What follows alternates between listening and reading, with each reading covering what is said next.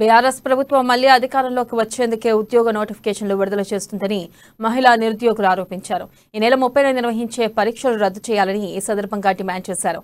ఇక నిరుద్యోగులతో చెలగాటమాడొద్దని మండిపడుతున్న మహిళా నిరుద్యోగులతో మా నల్గొండ ప్రతినిధి Kiran face to face TSPSC paper leakage తర్వాత నిరుద్యోగులు తీవ్ర అసంతృప్తితో ఉన్నారు. ప్రభుత్వం నిర్వహించే ఏ పరీక్ష కూడా పారదర్శకంగా నిర్వహించకుండా పేపర్ లీకేజీ కావడం పట్ల గత కొద్ది సంవత్సరాల నుంచి కూడా కష్టపడుతూ చదువుతున్నప్పటికీ తీరా పరీక్ష రాసిన తర్వాత కూడా పేపర్ లీకేజ్ కావడంతో వీరంతా కూడా ప్రభుత్వంపై మండిపడుతున్నారు. అదేవిధంగా ఈ నెల ముప్పైన నిర్వహిస్తున్నట్టు ఒకే రోజు నాలుగు పరీక్షలు నిర్వహిస్తుండటంతో కూడా నిరుద్యోగులు ఇక్కడ ఉన్నటువంటి మహిళలు కూడా మండిపడుతున్నారు. చెప్పండి ఆ రోజు పరీక్ష పట్ల మీ యొక్క అభ్యంతరాలు ఏంటి? Okay sorry. సారి నాలుగు ఎగ్జామ్లు తెలంగాణ ప్రభుత్వం రిలీజ్ చేసింది సార్. ఒకే డేట్ ఒక పర్సన్ ఒక మనిషి ఒక ఎగ్జామ్ ఒకటే రాస్తాడు. మనకు నాలుగు గోల్స్ ఉంటాయి సార్. మనం ఎప్పటి నుంచో సంవత్సరాల తర్వాత ప్రిపేర్ అవుతుంటాం. నాలుగు ఎగ్జామ్లలో ఏదో ఒకటి తెచ్చుకోవాలని కష్టపడి చదువుకుంటుంటాం. ఇప్పుడు ఒకే రోజు నాలుగు ఎగ్జామ్లు పెట్టడం వల్ల మనం ఏది చూస్ చేసుకుని ఏ ఒకటి రాయాలి అంటే మిగతా మూడు వదిలేయాలి. అంటే మూడింటికి ఎట్టిన ఫీజులు పోవాలి బట్ కష్టం వృధా కావాలి. ప్రభుత్వ వైఖరి ఇట్లా ఉంది. దీనికోసం డిమాండ్ ఏం లేదు సార్. నాలుగు ఎగ్జామ్లు ఒకేసారి ఉన్నాయి కదా. పోస్ట్ పోన్ చేసి ఒక వారం రోజులు నెల రోజులు పోస్ట్ పోన్ చేస్తారు. మీరు ఎన్ని రోజులు వీళ్ళుంటే అన్ని రోజులు. మూడు నాలుగు ఎగ్జామ్లు కదా సార్. మీరు వీళ్ళు చూసుకొని ఒక ప్రెస్ నోట్ రిలీజ్ చేసి మా మనోభావాలు దెబ్బ తినకుండా మా బాధను అర్థం చేసుకొని పోస్ట్ పోన్ చేసి కొద్దిగా టైం ఇస్తారని అనుకుంటున్నాం. అంతే ఎగ్జామ్కి ఎగ్జామ్ టైం ఇవ్వండి మాకు ఒకటి కాకపోయినా ఇంకొక అవకాశం వస్తుంది. నాలుగు జాబ్లల్లో. మొత్తానికి ఒకటి రాసుకుంటా ఒకటి రాకపోతే మా మేము పడ్డ కష్టం వృధా. మళ్ళీ ఐదు సంవత్సరాలకు పది సంవత్సరాలకు వస్తాయి సార్. ఇది రావడానికి ఇన్ని సంవత్సరాలు పట్టింది తెలంగాణ ప్రభుత్వం రిలీజ్ చేసేందుకు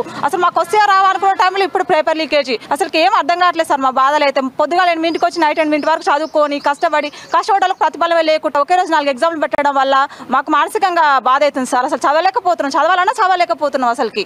గవర్నమెంట్ టూ ఇయర్స్ నుంచి ప్రిపేర్ అవుతున్నాం సార్. ఇంకా చాలా సంవత్సరాల నుంచి ప్రిపేర్ అయ్యే వాళ్ళు ఉన్నారు. ఉన్నారు కొంచెం వాళ్ళ బాధ అర్థం చేసుకోవాలి. ఇస్తుందా? ఏదో ప్రభుత్వం అసలు ఉద్యోగాలు ఇచ్చే ఉద్దేశం ఉంటే ఇవ్వండి. లేకపోతే ఈయనని చెప్తే ఈయనని చెప్పండి సార్. ఇంటికి వెళ్ళి పొలం పనులు చేసుకుంటే మేము తెలంగాణ ప్రభుత్వం ఇట్నే చేస్తుంది. ఈ ఉద్యోగాలు ఇచ్చే ఉద్దేశం మాకు లేదని చెప్పామండి రాయక ముందుకేం ఎగ్జామ్లు అంటారు? రాసిన పేపర్ లీకేజ్ అని వాయిదా వేస్తారు. మళ్ళీ ఎగ్జామ్ ఫీజులు కట్టుకోవాలి. మళ్ళీ రాసుకోవాలి. మళ్ళీ టైం ఫుడ్ రూమ్ రెంట్లు వేరే దగ్గర వండుకుంటే ఇంత కష్టపడుకుంటే అది వస్తుందో రాదో తెలియదు సంవత్సరాల ప్రిపరేషన్ అసలు గవర్నమెంట్ అసలు స్పందించడం లేదు సార్ అసలుకి. మాకైతే టైం ఇచ్చి నాలుగు ఎగ్జామ్లు ఒకే రోజు కాకుండా టైం ఇచ్చి ఒక ప్రెస్ నోట్ రిలీజ్ చేస్తే కొద్దిగా మాగిట నిమ్మలంగా ఉంటుంది సార్. అంతే. చెప్పండి మీరే నేను ఎస్ఐ కానిస్టేబుల్కి ప్రిపేర్ అవుతున్నా సార్ నేను ఎస్ఐ కానిస్టేబుల్ ప్రిపేర్ అవుతున్న తర్వాత మేము మాకు ప్రెస్ నోట్ ఇచ్చిన తర్వాత కూడా అన్ని లాంగ్ జంప్ అప్పుడు అయినా ఫస్ట్ అయినా అన్ని క్వశ్చన్లు తప్పు వేయడం జరిగింది. మళ్ళీ లాంగ్ జంప్ అప్పుడు ఈవెంట్స్ అప్పుడు కూడా మొత్తం అవకతవకలు జరిగినట్టు చాలా వచ్చినాయి sir exams post first twenty త్రీకి ఉండే. ట్వంటీ త్రీకి మళ్ళీ వేరే ఎగ్జామ్స్ ఉన్నాయని థర్టీకి పెట్టిరు ఆ థర్టీ రోజు కూడా నాలుగు ఎగ్జామ్స్ ఉన్నాయి. ఆ నాలుగు ఎగ్జామ్స్ ఒకళ్ళు ఎట్లా రాస్తారు సార్ మరి?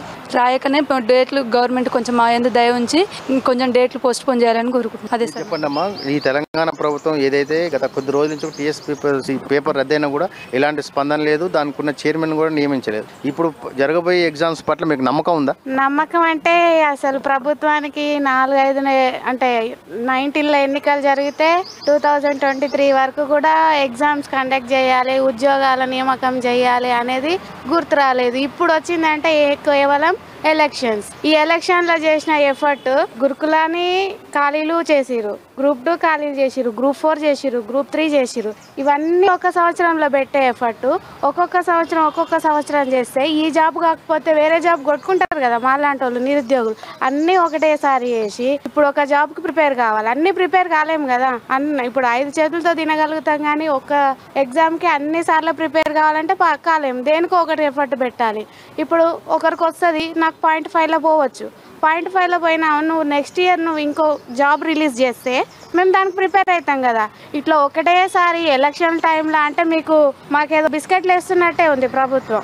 ఇట్లా చేస్తే మాత్రం బాగుండదు. ఎందుకంటే అందరు చదువుకొని దేశం రాష్ట్రం అభివృద్ధి చెందాలంటే ఖచ్చితంగా ఇయర్ ఇయర్ ఇయర్ ఇయర్ నియామకాలు జరగాలి. కేవలం ఓట్ల కొరకు మాత్రమే అంటే మా చేతిలో కూడా ఓటు హక్కు అనేది ఉంటుంది. మేము కూడా ఎవరిని ఎన్నుకోవాలి ఏందనేది మాకు రాజ్యాంగం హక్కు కల్పించింది కాబట్టి. దాంతో మేము కూడా ఇక్కడ నుంచి నిరుద్యోగులు డిసైడ్ అవుతే ఎలా ఉంటుంది అనేది ప్రభుత్వానికి కూడా తెలియజేయాలనుకుంటున్నాం. అయితే ఇక్కడ ఉన్నట్టు మహిళా నిరుద్యోగులందరూ కూడా ఒకటే కోరుతున్నారు. ఈ నెల ముప్పైన నిర్వహించే పరీక్ష తేదీని మార్చాలి. లేకపోతే నాలుగు పరీక్షలు నాలుగు తేదీలో మార్చి మాకు న్యాయం చేయాలని అదేవిధంగా ఏదైతే తెలంగాణ ప్రభుత్వం కేవలం వారి యొక్క రాజకీయ ప్రయోజనాల కోసమే ఈ యొక్క నిరుద్యోగుల కోసం ఈ ప్రకటనలు ఇస్తుందని ఈ తొమ్మిది సంవత్సరాలుగా ఇలాంటి ఉద్యోగ ప్రకటనలు చేయని ప్రభుత్వము ఎన్నికలను అదునుగా చేసుకుని ఈ సంవత్సరం జరగబోయే ఎలక్షన్లను దృష్టిలో పెట్టుకుని మా యొక్క నిరుద్యోగులను మోసం చేసేందుకు ప్రయత్నం చేస్తుందని కూడా ఇక్కడ ఉన్నటువంటి మహిళా నిరుద్యోగులందరూ కూడా తీవ్రంగా మండిపడుతున్నారు. నల్గొండ జిల్లా కేంద్ర గ్రంథాలయం నుంచి కెమెరామెన్ శంకర్తో కిరణ్ అమ్మానిస్ నల్గొండ జిల్లా. ಇಲ್ಲ